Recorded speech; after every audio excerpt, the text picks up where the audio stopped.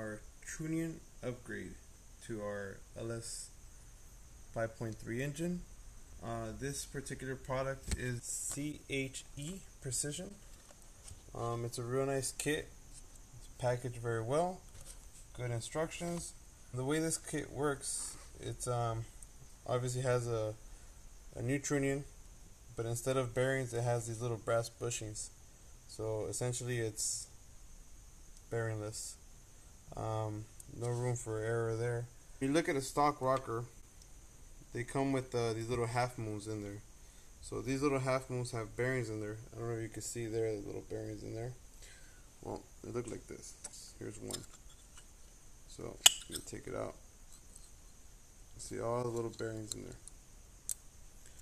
So when you have a high lift cam, these little caps that are in here start working themselves out.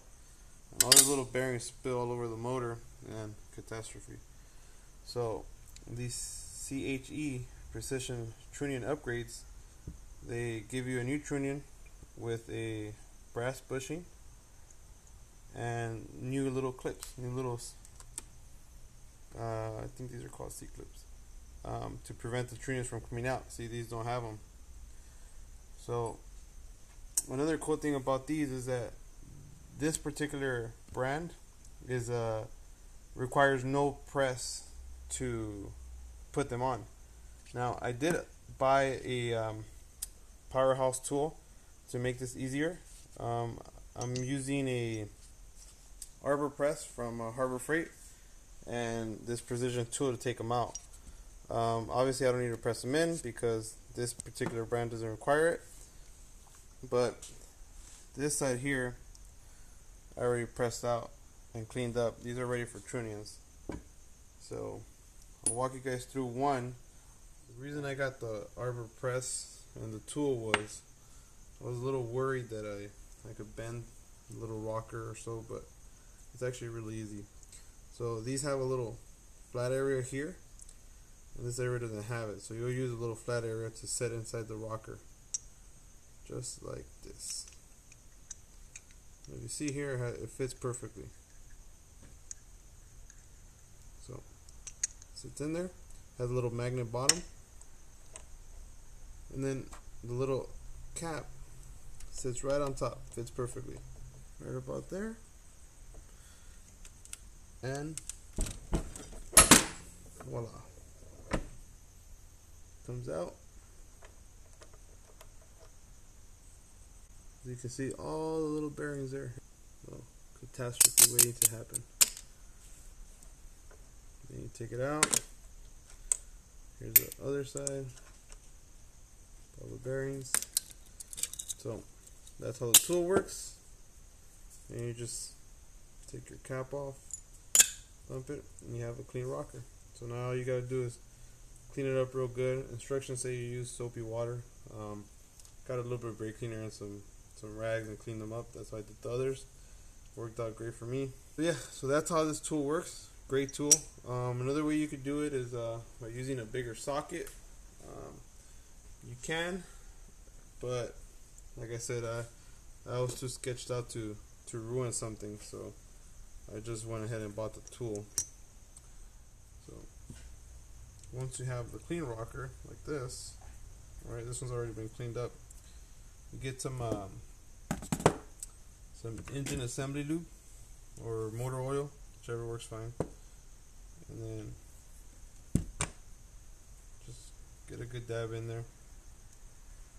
It is a bushing to metal, no bearing, so you want to make sure you help it out in the beginning and uh, get it nicely greased up. So then do the same thing to your trunnion.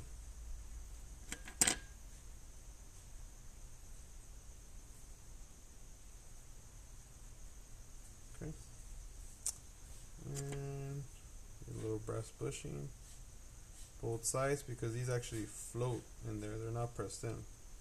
So I don't know if you can see that push, get that, get one in there, press it in there, like so, and then flip it over, get your trunnion, slide it in there. You get another bushing. Alright.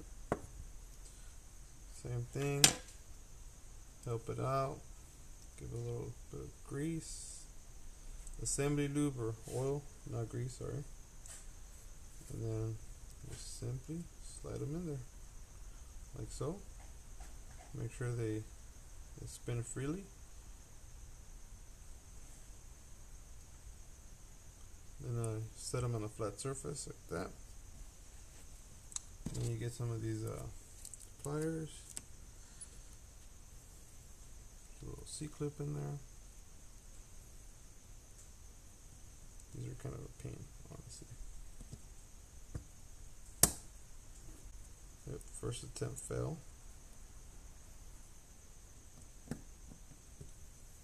Just like that.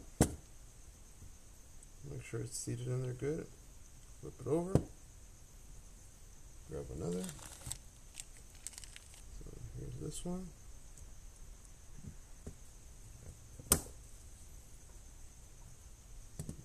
In there. Yep. Okay.